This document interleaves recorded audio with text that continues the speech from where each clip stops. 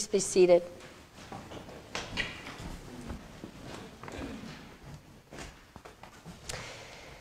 Welcome to our Christmas Eve candlelight service. Merry Christmas to you all. If you have traveled from afar to be with family and friends, welcome. If you have walked to church because you just lived around the corner, also welcome. Whatever your journey has been to celebrate the birth of our Savior this night, I am very glad that you are here. We have prepared a lovely service for you with carols and familiar scripture readings. The choir will sing, and we welcome Brittany Dyer this evening as our musician. You will hear familiar scripture passages, and together we will sing carols and light candles. May this be an evening of peace for you May we, in all that we do here together tonight, find the light and the hope and the joy and the peace that God so generously has given to us in the birth and in the presence of Emmanuel, God with us. So let us worship together and please join me in our call to worship. On this holiest of nights, we come joining the shepherds who are stunned by wonder. On this most silent night, we come, our hopes and dreams joining those of Mary and Joseph. On this night of carols and candlelight, we come, our glad songs joining with the choirs of angels singing, Glory to God in the highest and peace to all the world. Let us sing, O come, all ye faithful. Let us rise.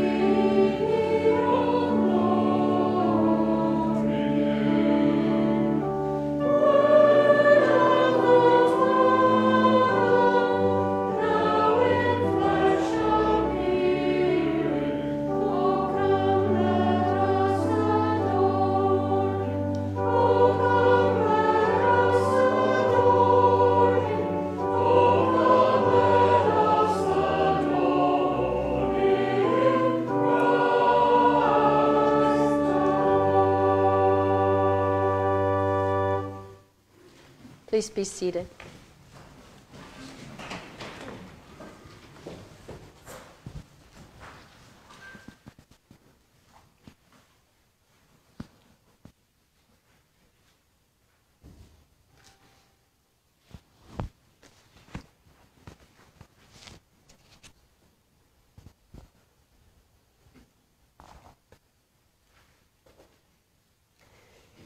We have lit the candles of hope, peace, joy, and love during the Advent season. Now we light the Christ candle because God's greatest gift of love has come. Christ is finally here, Christmas is here.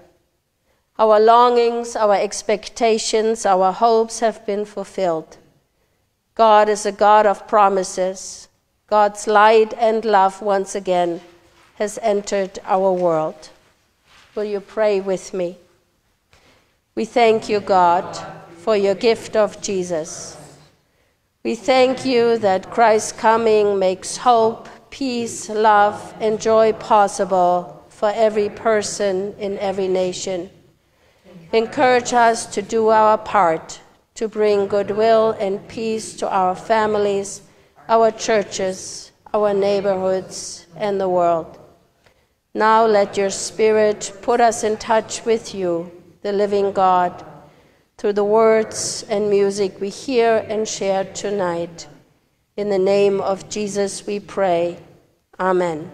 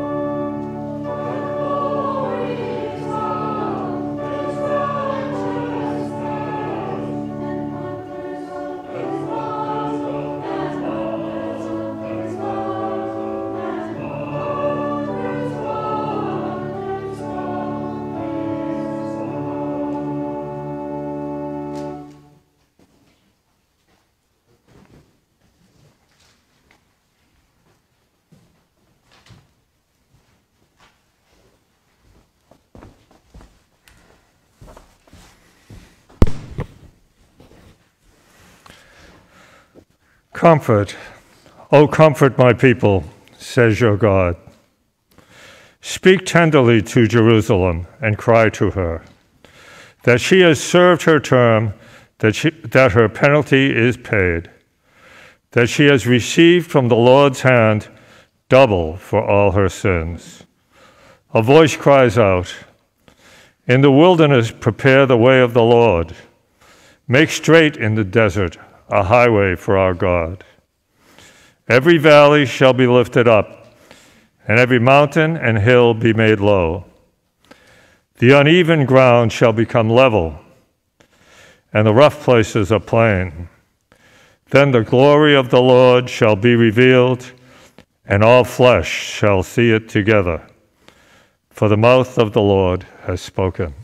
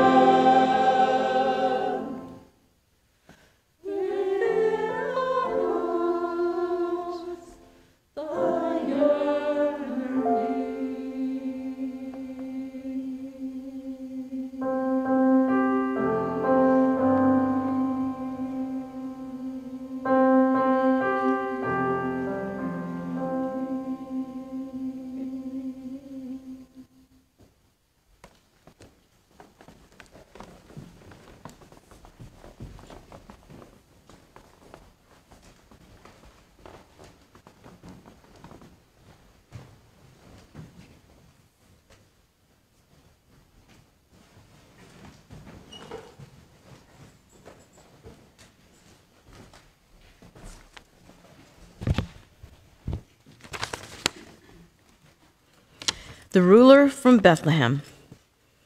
But you, O Bethlehem of Ephrathah, who are one of the little clans of Judah, from you shall come forth for me one who is to rule in Israel, whose origin is from of old, from ancient days. Therefore he shall give them up until the time when she who is in labor has brought forth.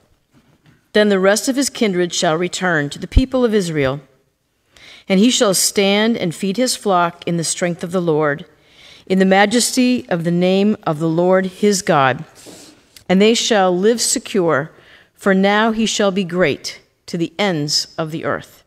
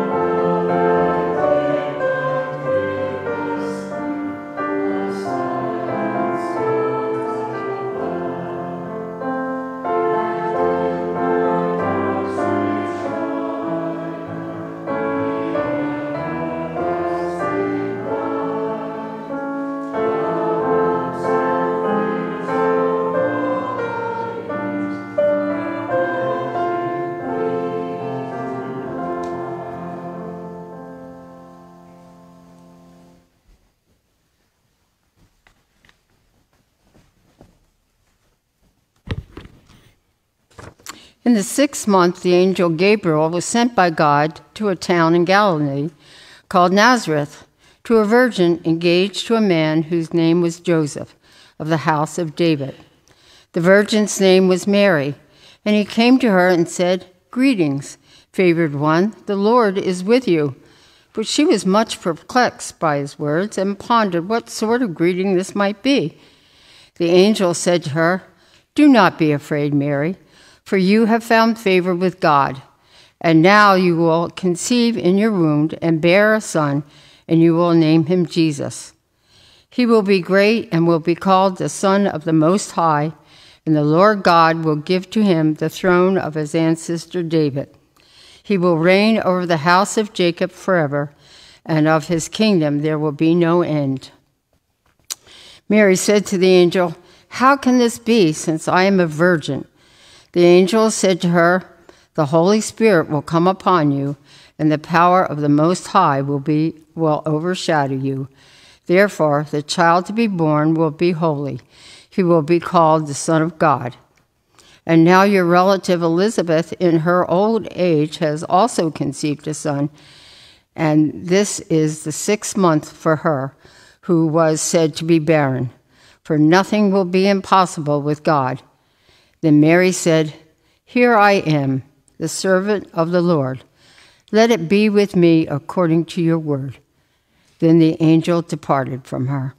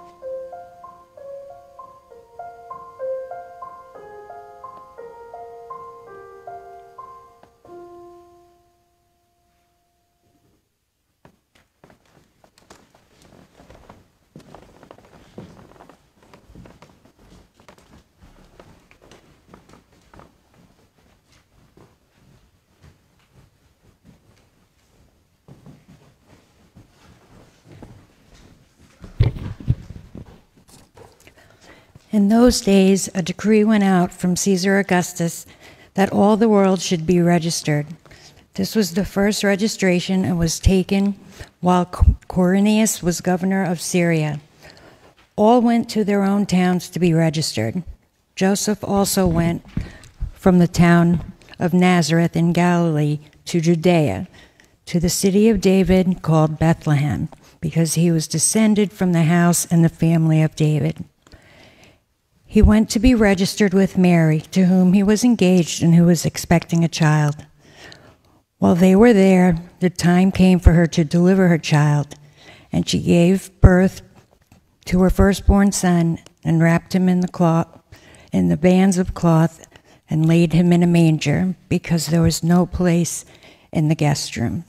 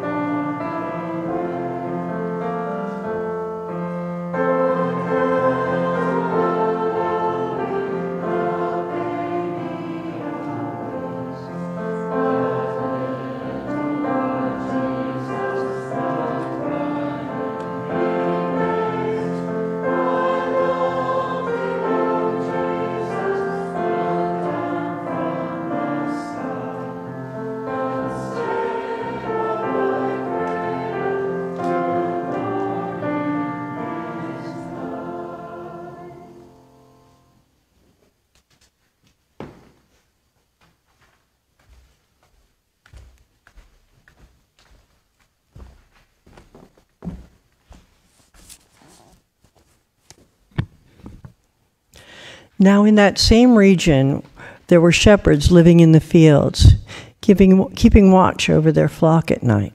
Then an angel of the Lord stood before them, and the glory of the Lord shone around them, and they were terrified. But the angel said to them, Do not be afraid, for see, I am bringing you good news of great joy for all the people.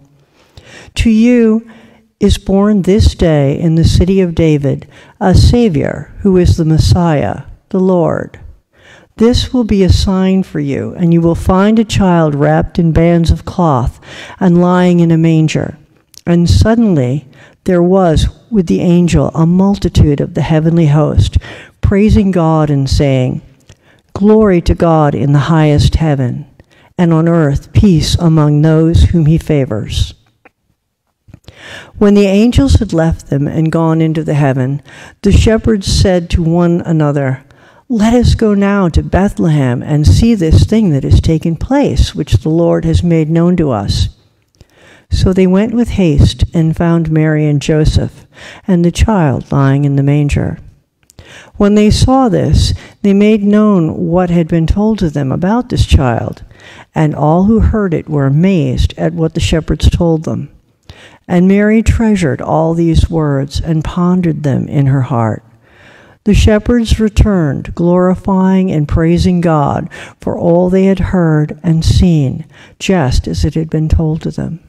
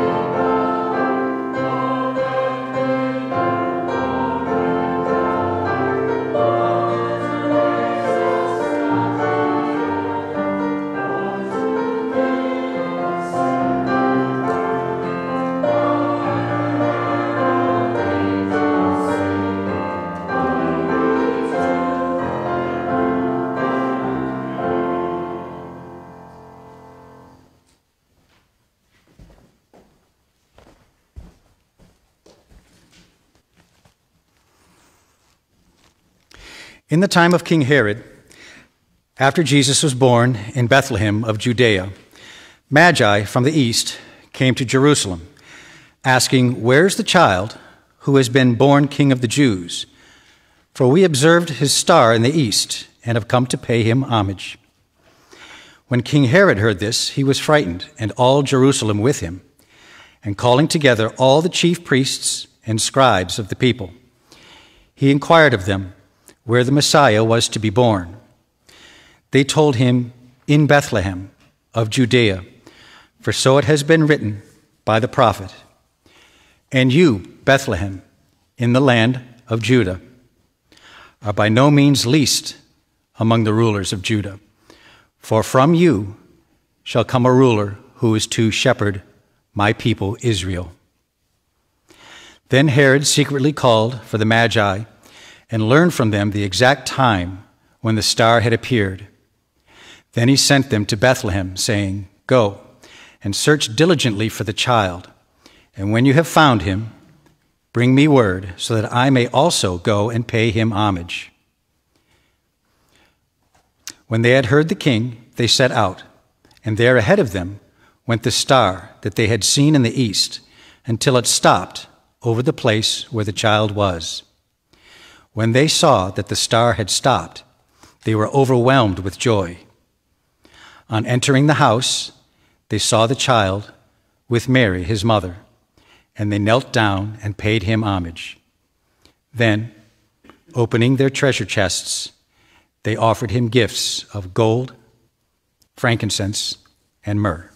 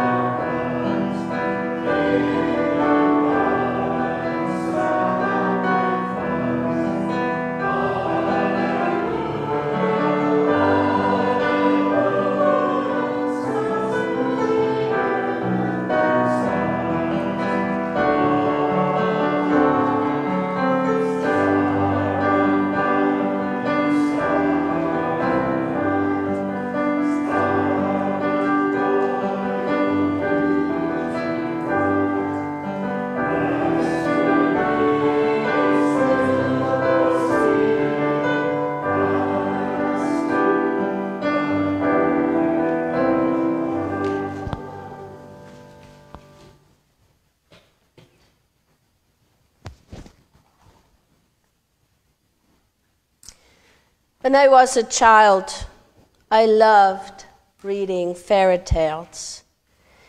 The moment I heard those words, once upon a time, I was off to another world. The same could be said about reading the Christmas story. It could have really easily started once upon a time. Now, yes, we know it starts a little differently, uh, sharing with us, though still sharing with us the, the then and there of what has happened. In those days, a decree went out from Emperor Augustus. It's the story about Mary and Joseph, shepherds keeping watch over their flock by night, and angels' good news of great joy, a newborn child wrapped in bands of cloth and lying in a manger, visited by strangers in the middle of the night. It's the story we sing in our hymns, portray in mangered scenes, react in pageants and read to our children and grandchildren. But I have to be honest with you. The older I get, the longer I live, the more I experience the beauty and pain of life. However, the less I am interested in what happened then and there, in those days and in that region. I am much more interested in what is happening here and now, in these days, in this region. That really, I think, is the only Christmas story that truly matters and will make the difference to us. I don't want us to settle for just telling or celebrating the then and there. Christmas story, I would love for us to live the here and now Christmas story. Now, I'm not talking about whether you and I have been born again, but whether Jesus has been born again in us. Otherwise, what good is it to us if the angel announces good news of great joy to the shepherds? living in the fields if that good news is not also announced to us in the fields of our lives? What good is it to us if Jesus is laid in a manger in Bethlehem if he is not also born anew in us and cradled in the manger of our lives? What good is it to us if the shepherds go see this thing that has taken place if we don't also see in our lives this thing that can happen in our lives? What good is it to us if Mary treasures and ponders how these things can be if we don't also wonder at the mystery of God with us in our time and place? I want to find the child lying in the manger of my life, in our lives together here and now. Quite frankly, isn't that why we come here this night every year? What if you and I, our relationships, the circumstances of our lives are the manger? in which this holy child, the Messiah, the Lord, has been laid. If you want to know the child born again, born anew in your life, tonight look at the manger of your life and what do you see? What manger have you brought with you here tonight? Is it a manger of darkness? The good news is that tonight it is filled with light of life. Is it a manger of confusion and self doubt? Tonight it is filled with a wonderful counselor. Is the manger of is the manger of weakness and impossibility. Well, tonight it is filled with the mighty God. Is it a manger of orphanhood? Tonight it is filled with the eternal parent. Is it a manger of chaos and conflict? Tonight, I hope you find the Prince of Peace there. Is it a manger of loneliness and abandonment? Tonight it is filled with the one who said, I am with you always to the end of the age. Is it a manger of guilt and regret? Well, tonight it's filled with a merciful one. Or fear and lostness? Today it is filled with the Good Shepherd.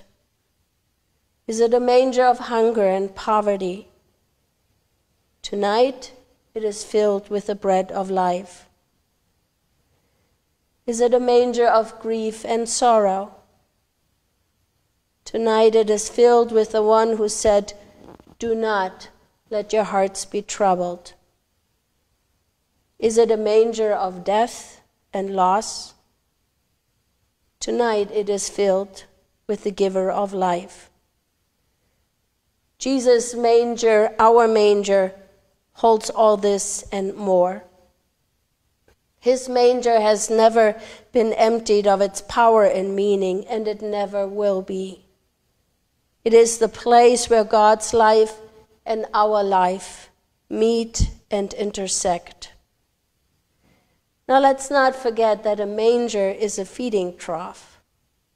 It is the place where our lives are fed, sustained, and recreated in the midst of our life circumstances. Can this child's birth really change our lives? Well, let me ask you this did the birth of your child change your life and recreate your world? Did your birth change your parents' lives and recreate their world? Uh huh. In more ways than we can count. Whatever the manger of your humanity holds tonight, tonight it is filled with divinity. The promise of Christmas is that we will not leave here unchanged. It might take us a while to recognize and live into this change, but the promise is trustworthy and true. To us is born this day in the city of David a Savior, who is the Messiah, the Lord. And that is good news of great joy for all the people in every time, in every place, and in every life, especially here and now, in these days, in, in this region, for you and for me. Merry Christmas.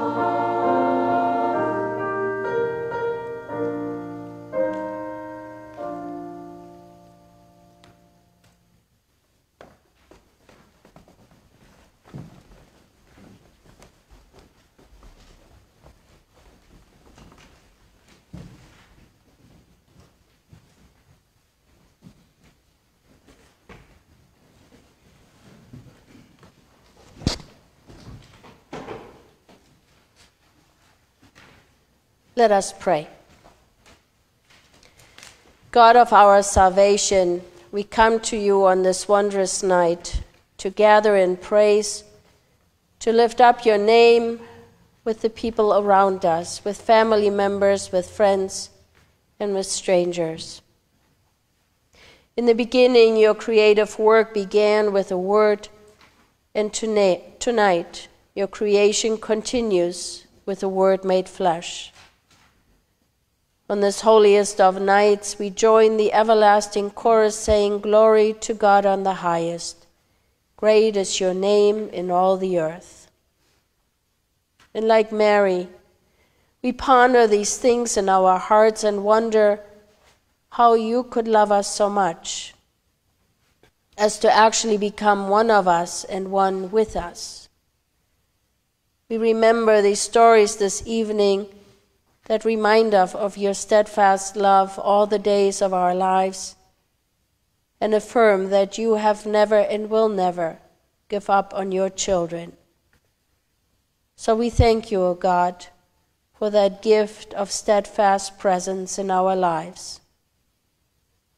And yet we know that even on this most holiest of night on which we celebrate the coming, the fulfillment of this love, we recognize that there are many who are still waiting for your word of love.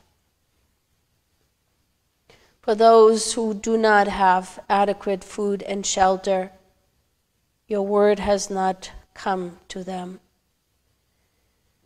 For peace and an end of violence, our world is still on fire wherever we look.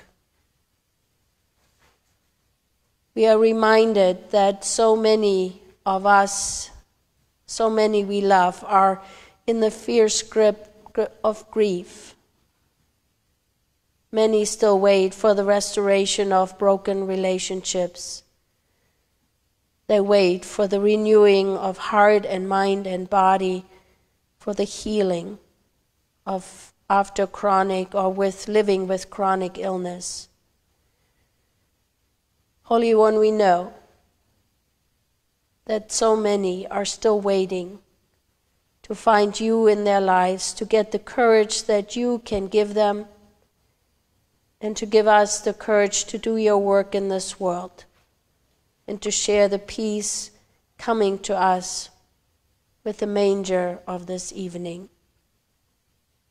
We pray this night especially for those who have traveled to be here for those who have lost loved ones in this past year, for those who struggle with all kinds of illnesses, for those who have to work on Christmas, especially we think of medical workers, the police, and emergency personnel. And we think of those who cannot make it home for Christmas. Here, as we pray, O oh God, Restore us and make your face shine that we might be saved and find your salvation within you. In all that we do and in all that we are, send your Spirit to send us forward with the majesty of this night and to share the grace we find with everyone we encounter. This we pray in the name of Jesus, your Son, who taught us to pray, saying, Our Father, who art in heaven, hallowed be thy name. Thy kingdom come, thy will be done, on earth as it is in heaven. Give us this day our daily bread, and forgive us our debts, as we forgive our debtors. And lead us not into temptation, but deliver us from evil. For thine is the kingdom, and the power, and the glory forever. Amen. Come now before the Christ child. Bring all that you are and all that you have. Offer your gifts in wonder and surprise and awe. Offer your gifts in joy and delight. We will now receive our offering.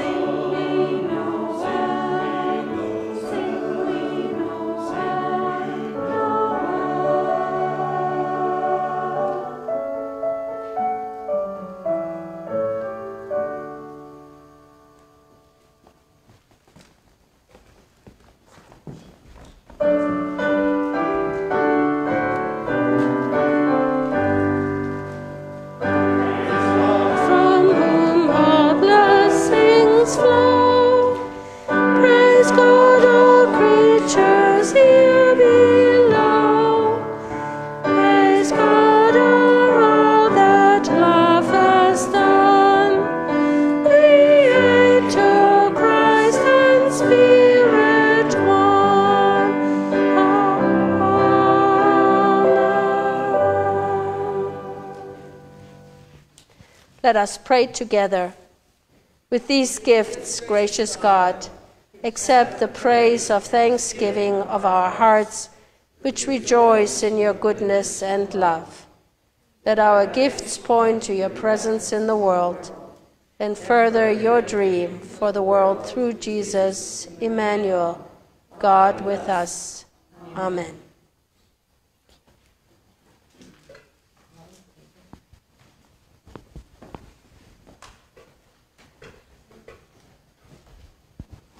Please be seated.